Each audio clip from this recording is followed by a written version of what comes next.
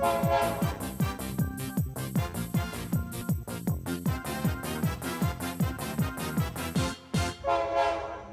to Style Documentation for the Resource Limited. My name is Betsy Haibel, and today we are going to be talking about ways to get style guides done in the real world as opposed to the happy fairy world where you actually have three months to take to stop the world and do this.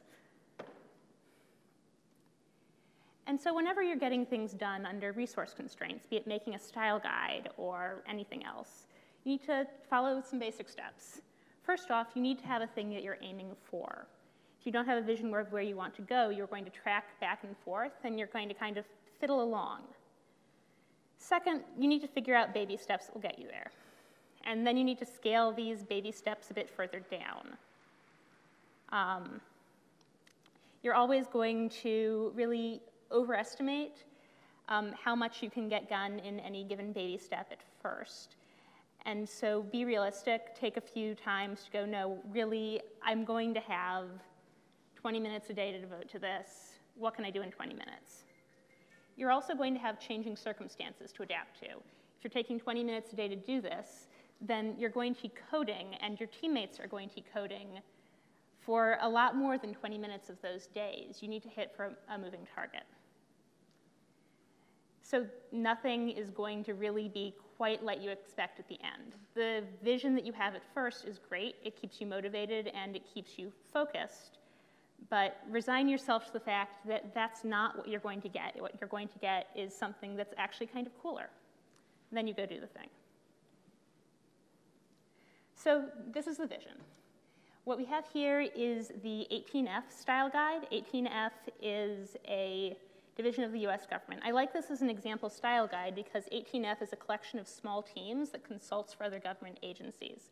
I could use other examples like Google's material design here, but since material design is built for Google scale companies, and since most of us do not work at Google scale companies, something like this that's a little tinier is a bit not only more realistic, but also more adapted to our specific needs, not Google's needs. We talk a lot about getting everyone on the same page where our business logic is concerned. We talk about developing a shared ubiquitous language that we can share with stakeholders. But the thing is, we need a separate shared ubiquitous language for our user interface logic. We, when we are doing web development, we distribute this user interface logic through the HTML and CSS and JavaScript, and keeping this organized is not actually an easy task because it's so distributed this coherent model that we're going to build is what lets us do that and not go insane. Goodness, that's ableist language. I'm sorry, guys. Um, and the thing is, you already have an accidental style guide. Your accidental style guide is your code base. All of your forms look basically like each other, I think, probably. And this is achieved via liberal use of copy and paste. This is great if you've got a small team or a small UI or anything like that. But as you scale up, it gets a little trickier to deal with.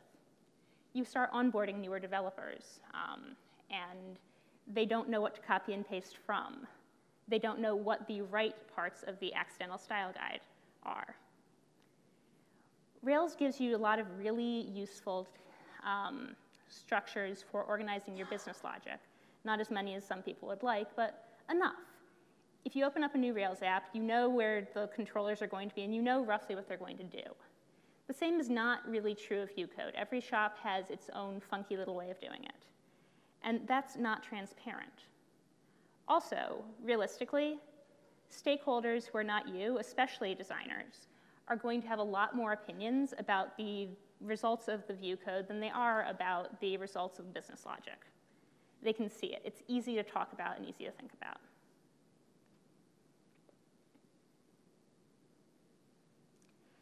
So there's an example app. I'm going to be returning to it a few different times in this talk.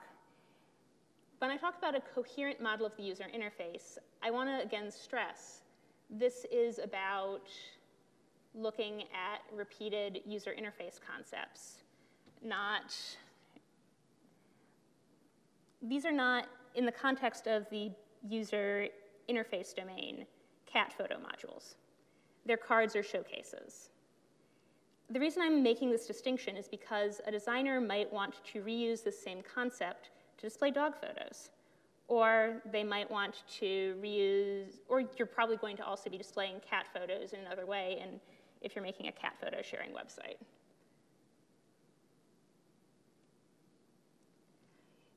Style guides should also go a little deeper than your branding guidelines. A lot of people go, okay, we use Helvetica and stop there.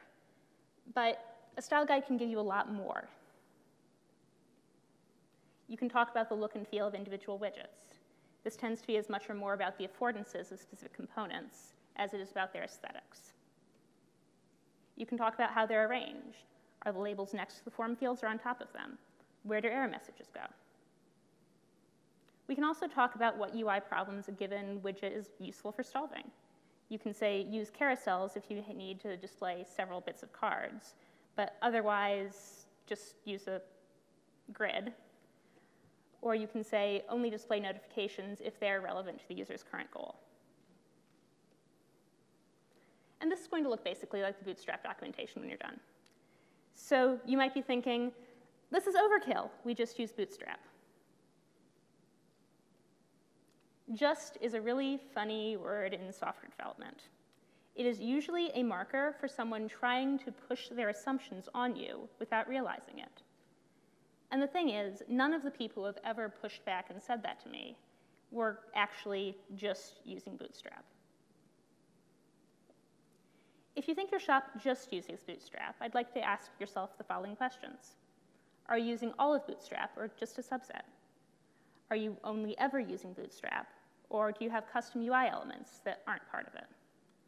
Do you have undocumented bits and pieces of code or rules around how you're using the Bootstrap elements? And again, and most importantly, do you often copy and paste marker, markup around to preserve these undocumented rules? That's the most useful real-world heuristic I can give you. And so if any of these statements are true about your site, your style guide is not the same as the Bootstrap documentation. I'd like to encourage you to document the ways in which it's different, and you don't necessarily need to be super fancy about this. It can be annotations with links that say, more, doc more docs at this link. This link happens to be the Bootstrap docs. But still, documenting these deviations is very important. There are a few other barriers to style guide adoption that aren't just, oh, why do we need this? They are, it's a lot of work. They are, it's a lot of work, and my boss will not let me do this because it's a lot of work. There's also a few fuzzier ones. If you build your style guide very inflexibly, it's not going to accommodate a real-world user interface very well. Similarly, you might have a designer who believes in a lot of exceptions to the rules rather than just a few.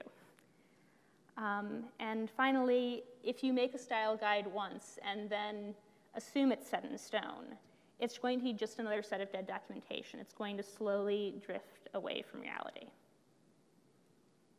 We live in the real world. Our software is held together by love and duct tape. And I say we for a reason. like probably most of you, I'm a veteran of the we can always make it better tomorrow school of Agile. And because of that, I can tell you that actually you can do this incrementally you can get this bright, shiny dream world in the real world. The first thing we need to do is let go of the idea that a style guide is ever going to be done. It's been 15 years since the Agile Manifesto. We have all embraced the notion that our software is iteratively built and never quite finished. It follows that our documentation, like the code it mirrors, needs to be responsive to changing needs, needs to be malleable. I've worked with a style guide before that was this pretty thing that the designers went off in a room and built over the course of a few months. It was great for a, about five months after they finished. But then the lead designer left and we replaced him. And our new designer went into another room for another two months or so and built us a new style guide, and it was beautiful too. But we were suddenly faced with this dilemma. Do we stop the world and migrate to this? Do we leave our user interface in inconsistent state? What do we do? And none of these options were great for our users, and a lot of them involved us taking time to not ship code. So when we view these things as perfect versus worthless, when we hold up this perfect ideal in our head and expect that it's actually even all that useful in the real world, we suddenly stop doing iterative processes because we think there's no point. The history of in industry has proven time and time again that iterative processes work much better than stop the world processes or, heaven forfend, never doing anything at all. Who here has written brownfield test suites before? So taken a uncovered or undercovered code base and written some tests around it. That's a lot fewer hands than I expected. You're all really lucky um, because when you do this, this kind of sucks. You tend to pick one UI path and write an integration test for it, or you pick one method in one class and you start writing unit tests for all the cases. And it's really, really terrible. You do it for features you're working on anyway at the time, to, but it's still really, really terrible. You're trying to maintain some kind of velocity in your feature, and you don't have any kind of proper test harness. You're needing to build that simultaneously. And so you kind of fake it and go, eh, good enough, maybe, and move on. But the next test after that, still not fun or anything, but it sucks a lot less. You already have a minimum viable test harness in place, and so you can just write your test. Or you can maybe even flesh out your test harness a little and make it a little more full-featured. And eventually it gets easier and easier and easier, and then it gets easy. And that is the greatest feeling. And I'd like you to, to think about Brownfield style guide documentation in the exact same way, because it is the same thing. The great news about looking at Brownfield style guide documentation, like Brownfield testing, as an, as an iterative process, is that it lets us sidestep many of the real world concerns I outlined for you about style guides. It also forces us to figure out a set of baby steps that lets us maintain velocity while we build out our style guide. Forces us to make things a little bit better with every little baby step so that we can prove to our teammates and our bosses that this actually is worth doing. And it forces us right away to grapple with the dead documentation problem. If someone did the Stop the World doc project and released on April 27th, 2014, I know coming into the project that it was relevant then. I can adjust my mental model of how accurate it is based on like some mental heuristics around code entropy. So if I'm coming to that project circa May 2016, I can know that probably many of the database tables are about the same. They might have a few more columns, but the general structure is still there but I can throw out anything the documentation says about the controllers as completely irrelevant. However, if I have bits and bobs of documentation that don't have dates on them, I don't really have any way of knowing how useful any given piece of it is. So the second it starts to drift away from reality and I notice it's inaccurate, can't make the same value preserving code entropy type guesswork because I don't know when it was accurate and so I just kind of need to dismiss the entire thing. So again, we need to solve the dead documentation problem really very much first. But it also lets us sidestep the flexibility problem. When we document what we've already got and leave the rest of it for late, and leave any kind of organization for later, we know our style guide covers real world use cases. Yay. So I'm going to teach you a three-step process for getting a style guide up incrementally. We're going to use three steps over and over and over again, in which we identify a UI component, codify it, and then document it. Step one, identifying, is super easy. We just look at our app. When you look at these screens side by side, they've both got pictures of cards, or they've both got cards on them, and they've also got tab sets. So if we attack tab sets first, when we get to the step where we formalize these components in code, When we do this, we try to refactor what we've already got to be more internally consistent. This sets us up to document it later, and it also helps us sell this process to the rest of our team. We can't always say this new process change, this new documentation is going to be magic and solve all our problems because we don't have, our teammates cannot be expected at that point to have context for why this is magic and why this will solve their problems. But it is very easy to say, hey, I improved these five lines of code, and get people to say, yay! Um, so this is going to be something we use to help build trust, as well as set ourselves up for success with documentation. So as a heads up, we are hitting the code on slides part of this talk. Is the last day, it is after lunch, I'm really sorry. Um, please just focus on the broad outlines. Most of the slides have helpful bright red circles on them to point you to the interesting parts. At the end of the talk, I'm going to be giving you a link to a blog post, and it's going to have all the code samples in it. So you can look up every bit of code on these slides later if you want reference. Please, again, think of this as a general overview. It happens to include code. And of course, this slide has no helpful red lines on it. But also, I'm mostly just throwing this up to show you unrefactored code that's kind of repetitive. And I'm going to skim past it and overlay these two things. And gosh, unrefactored code is really repetitive sometimes. This is an overlay of those two things. Note that you can't really tell because it just looks like text. Um, and because this is a Rails project, we're going to use a helper to refactor this. Note that I'm putting the outputted HTML in a comment directly above the method name. This makes reading the method quickly much easier. It gives you a literal representation, which can be a lot easier to read than content tag. It's a lot easier for your designer to read than content tag because your designer knows HTML if you're lucky, but is not going to be learning Ruby probably.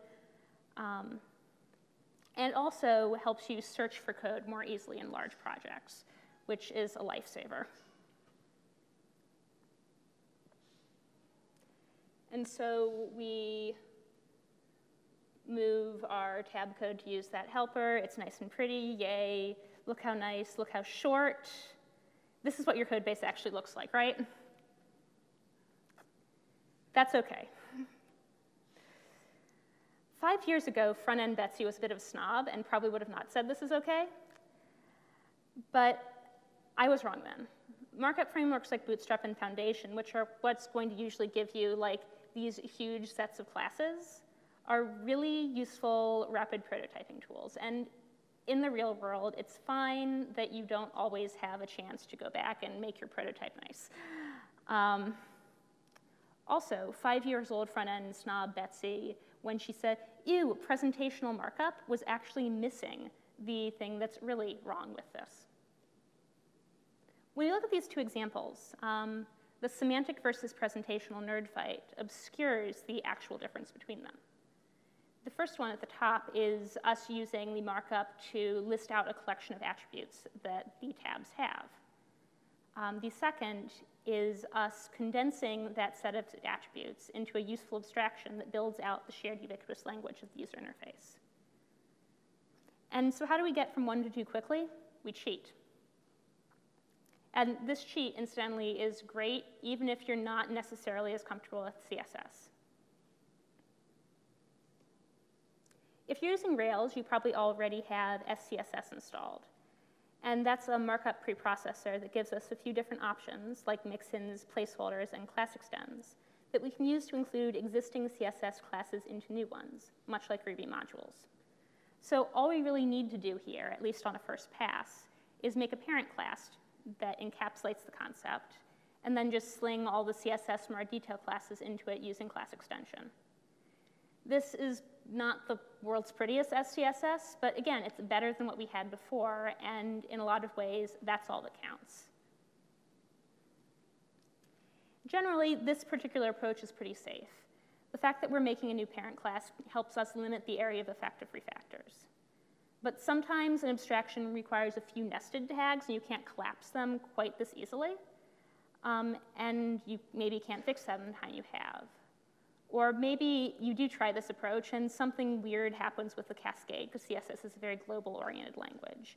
And then you go, eh, no, and back up a bit. In that case, the next most heavyweight mitigation technique I have for you is building a nested helper. This is starting to get into the end of code that's clever for clever's sake. So if your markup is simple, it might not be practical.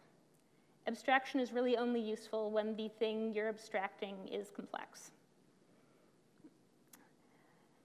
So yeah, sorry, I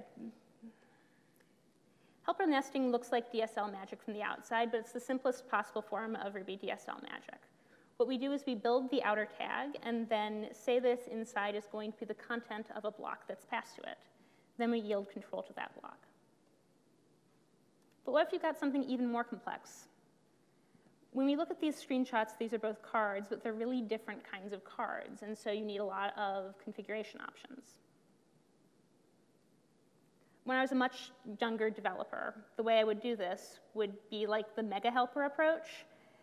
And I'd be really proud of myself because I was making fewer lines of code, but it would be a really bad abstraction, and I would not be able to read it four months later. Helper nesting can help with this.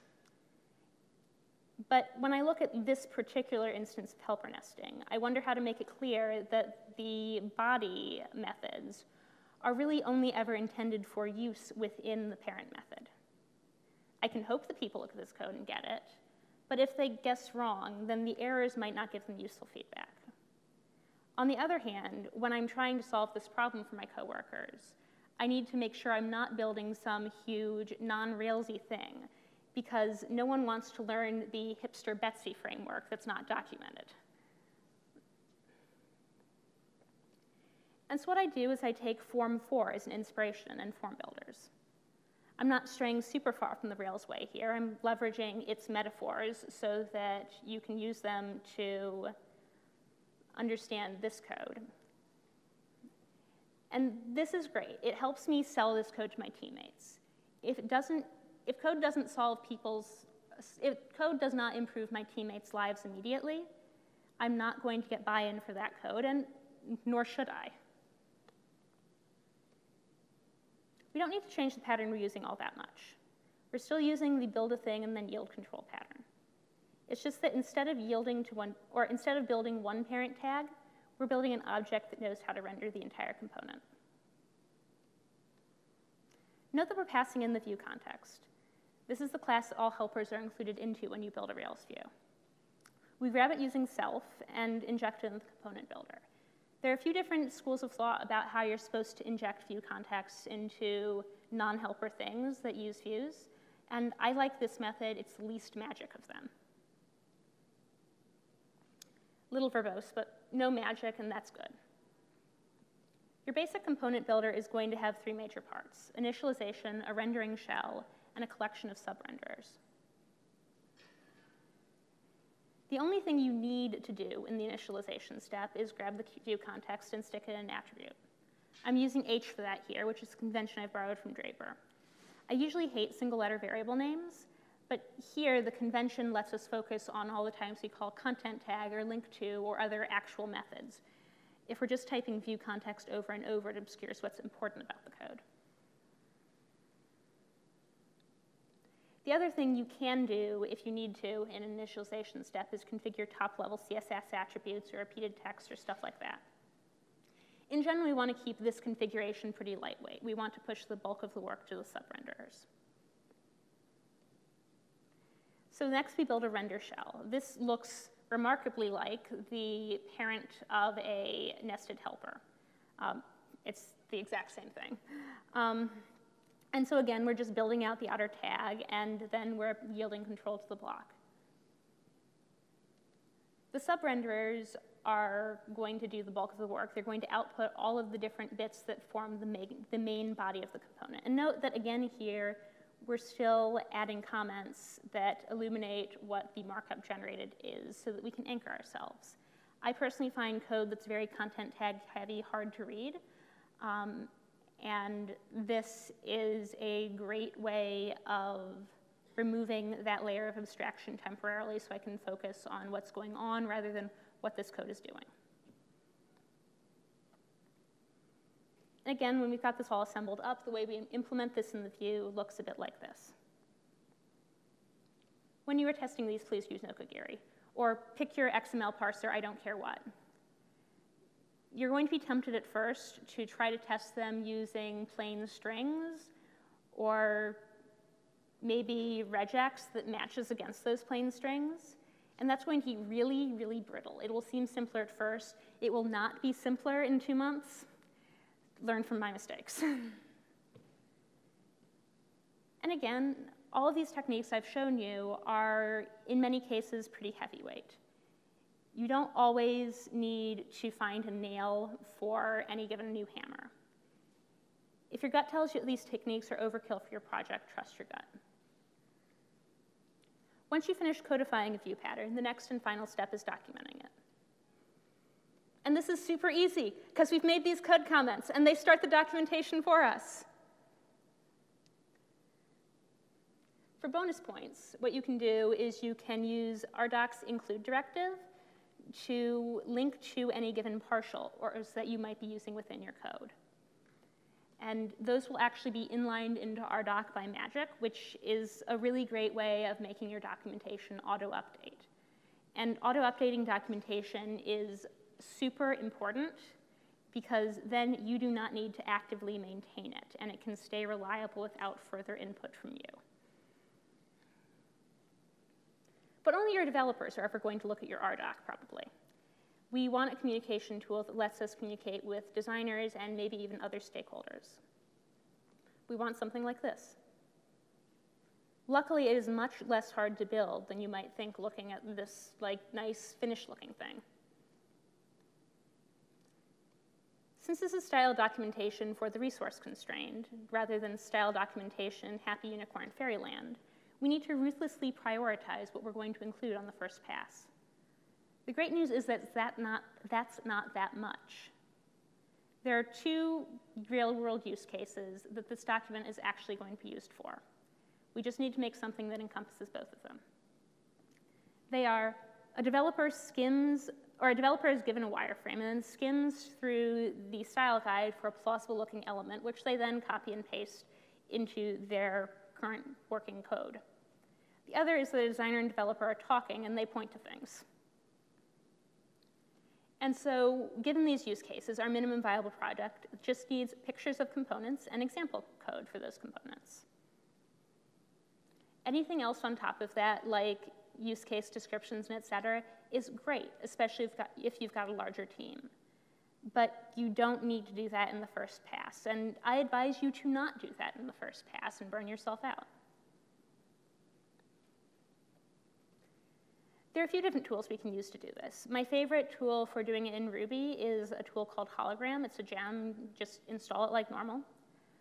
Um, the best uh, tool for you if you're using a JavaScript-heavy front end, like Angular, Ember, React, whatever, I think that's what the kids these days are using, um, is going to be a tool called KSS. Um, you want the node version of KSS, and you want this for two reasons.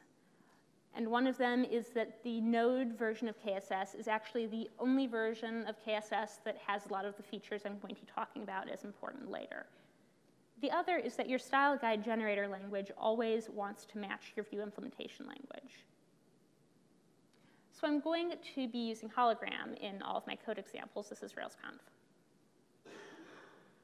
It works by a little like RDoc, really. You put special documentation comments in your CSS files, and the processor turns them into documentation. Putting your docs in your CSS or someplace else central is a great little nudge to your teammates that keeps documentation from dying. It's really easy to forget or deprioritize documentation when you keep it in doc random stuff.markdown. It's harder when it's right above the code you're working on, yelling, I'm here, fix me, you're going to feel really guilty if you don't. And so a good style guide generator is also going to give special status to your code examples like I'm showing you here. Hologram's output looks a little like this. You're getting a super happy little picture of a card right above the code that makes the card go. We're fulfilling both of the needs of our style guide MVP right in one tool. It gives us this both of these by not magic, but writing. We could stop here, but we can also get a little better. We've built out all these cool view helpers that codify our abstractions. And hologram processors are just executing Ruby, just like KSS node uh, processors are just executing JavaScript. And so we can put our helpers in these examples. This takes a little bit more, more work to set up. It's a little finicky, it's a little Rails version dependent. It's too much code to be worth putting on a slide, but it's linked in the blog post that I'm going to be showing you later. Um, if you can do this, I advise you to. It is super magic because then your markup changes um, when you update your helpers. All of these changes automatically propagate to your style guide, and so again, you don't need to do as much maintenance work going on. Living style guides are way more important and or are way more useful than the kind that you set and forget. So the ideal is something that looks a little bit like this. Note that the example both outputs the HTML that the helpers generate and the helpers themselves. This is really important for helping out designers. It lets them prototype rapidly using your actual style guide primitives.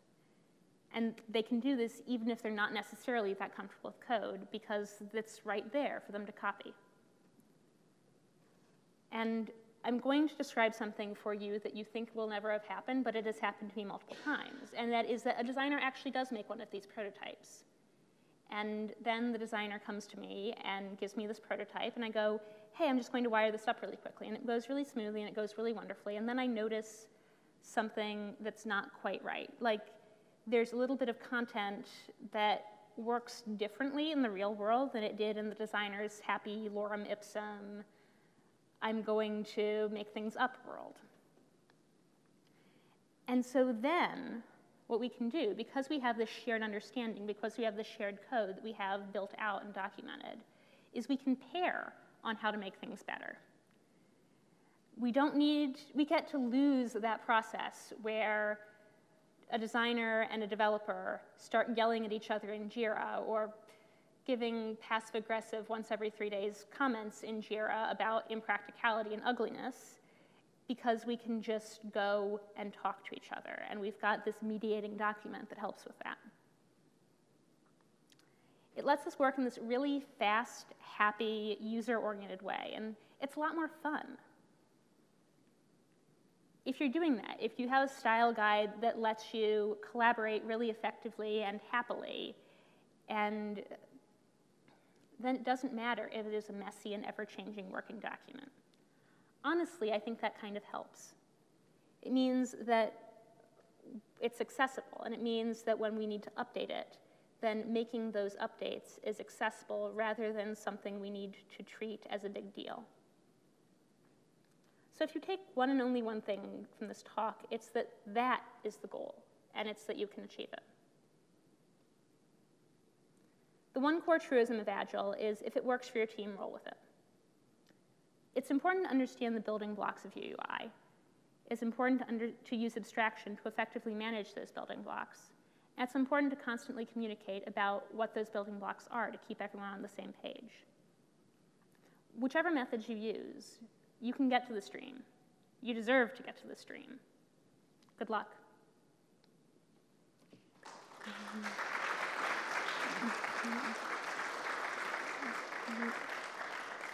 So here's a link to both the blog post with code samples and a blog post from Pivotal that helps you set hologram up with Rails in some nice ways that keeps guard, that uses guard to auto update things. Um, this is me. Um, my name's Betsy. I'm on the internet in a few places. My Twitter is mostly feminism and pictures of my cat, and occasionally science fiction, and occasionally also code. Um, I work for an organization called ActBlue. We build fundraising tech for Democrats and we amplify the voices of small dollar donors. Um, our average donation size is about $30, and since 2004, when we were founded, we have raised 1.1 billion. Um, about 0.1 billion of that has been in the last one month, two months alone. Like about that? Okay. And this helps these donors' voices be heard in a real way by aggregating it. So it really helps us keep the party more focused on the needs of people who don't have huge sums to donate. means a lot to me. We're committed to a modern web development stack and a culturally and technically sustainable approach. Um, and we're hiring. Please talk to me or to my boss, who's going to raise his hand now, if you're interested. I'd like to thank Coraline Ada Ehmke, Chris Hoffman, the people of Arlington Ruby, and Zeal and ActBlue for all giving me feedback on early versions of this talk and helping me make it hopefully good. Any questions?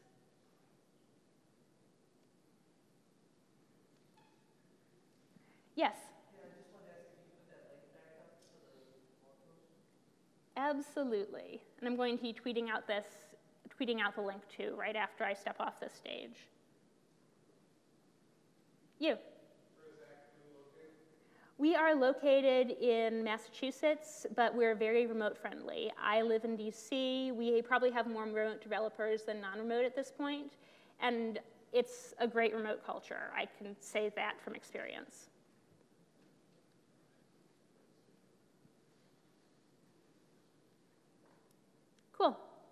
Thank you for coming.